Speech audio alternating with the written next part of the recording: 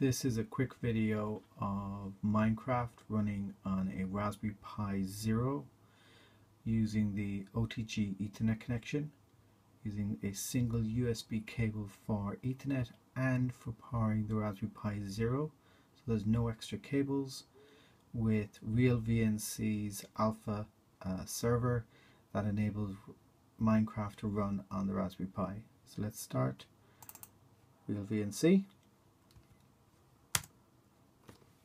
log in.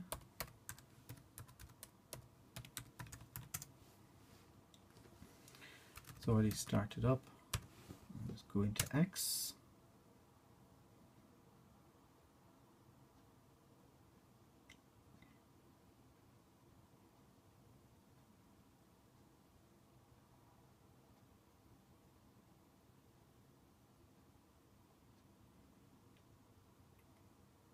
and here's the Raspberry Pi on Real VNC. To use Real VNC with Minecraft you need to press F8 and select relative pointer motion otherwise it's nearly impossible to control and then you just go menu games Minecraft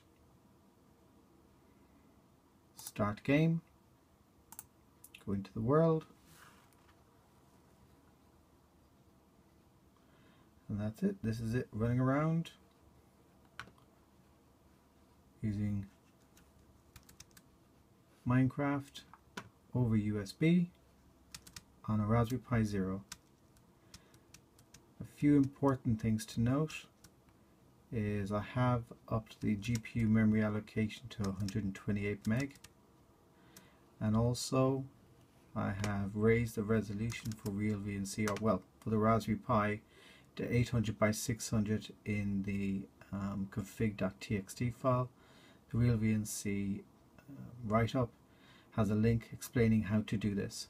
It's very straightforward, it's just uh, change a few settings in the config.txt file and there's also a few items that it mentions should be configured in real VNC player as well such as the encoding which should be JPEG and a couple of others as well, color and another one I can't remember the name of, but it's in the guide which I'll link to. But you can see, running around, all works really really well. Um, I built this block tower a second ago, so let me just move away from it and see if I can find somewhere else to hang out.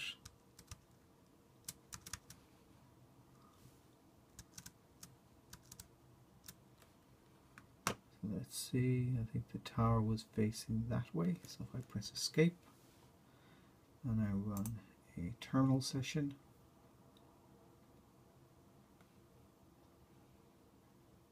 again let's minimize this so I can get at my terminal, uh, and I'll reduce that right down in size.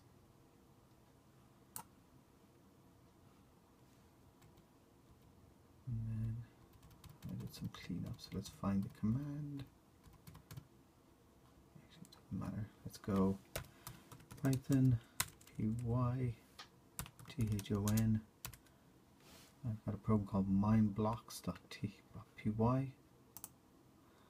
Click here. Back to the game. I should hopefully be facing the correct way. I can then use my mouse pointer to go down here Press enter. Hello world, the blocks have appeared. I'm facing the wrong way. Ah, it's behind me. Okay, so I now know which way it's going to do it. So let's just step back. Press escape. Down to the code block. Press enter. Hello world, blocks appear. So that to me looks more than fast enough for building and playing and running in it, it feels full speed. I don't I don't feel any lag.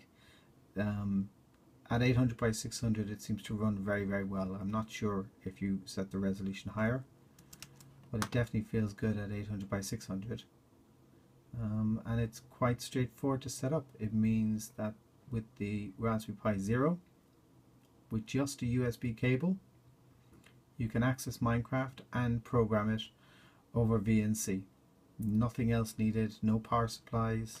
Pi Zero uses so little power that can power over USB and that's it. Um, I hope you enjoyed this video.